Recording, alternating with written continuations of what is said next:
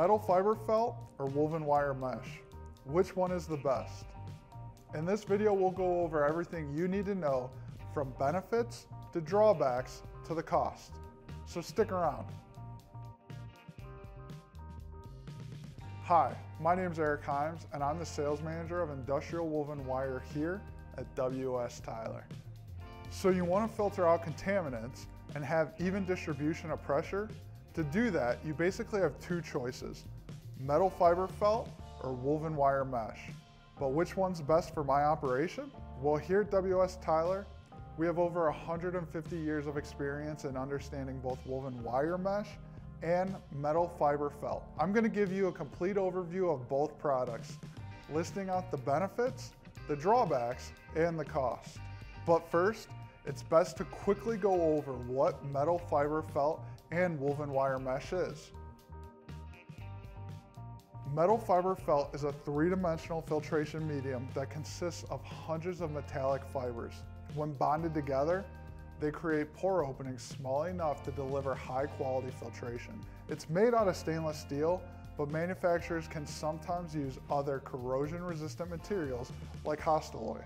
To make metal fiber felt, manufacturers will break the melt down to the point that it's fibrous. Then they cut it, thread it, and sinter it to help it retain its shape and bond. Woven wire mesh is a series of wires that are meticulously interlocked together through the use of a specialized weaving loom. The mesh is usually manufactured using stainless steel, but can also be made of Hastelloy and many other corrosion-resistant materials. One of the biggest advantages of metal fiber felt is that its pore size can reach the very fine size of 3 micron without any sacrifice in performance. Also, because of how it's made, the fiber felt can also be formed into any shape you need. Metal fiber felt filters also have low electric and heat resistance. This makes them perfect for electrical operations that filter hot materials.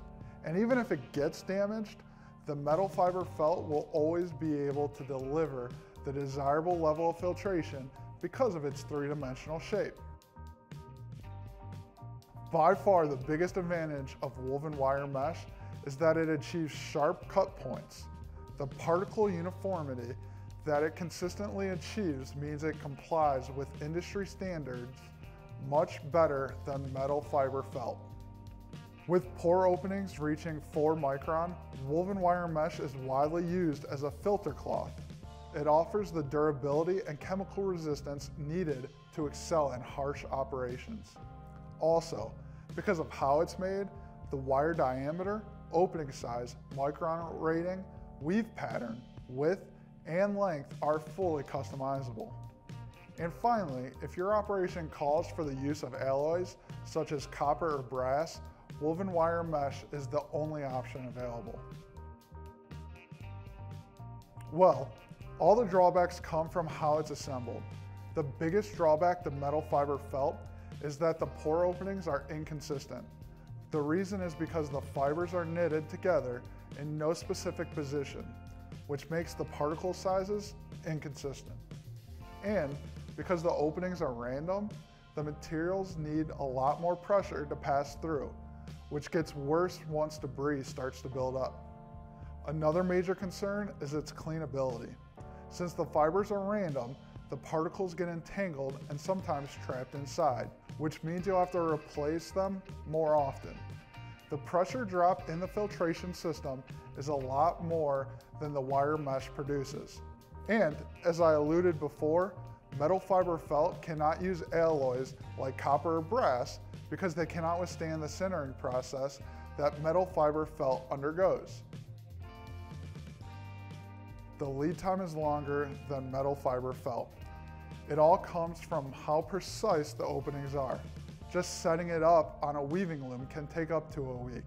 When handled too much, the mesh's ability to filter contaminants can be compromised. And even though the alloys are durable, if the mesh gets damaged in any way, it'll have to be replaced.